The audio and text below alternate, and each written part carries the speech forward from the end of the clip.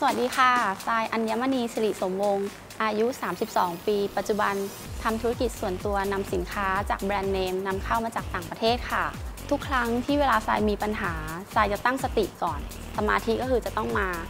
แล้วก็มองบวก มองบวกในทางที่ต่าง มีทัศนคติที่ดีในสิ่งที่ทำว่าเราจะต้องมีการแก้ไขปัญหา หรือทำสิ่งนั้นได้อย่างไร คือทรายมองว่าพื้นฐานตรงนี้ค่ะ มันเป็นพื้นฐานของจิตใจที่สำคัญมาก ที่จะทำให้ตัวเราเองมีความสุข และคนรอบข้างของเราก็จะมีความสุขไปด้วย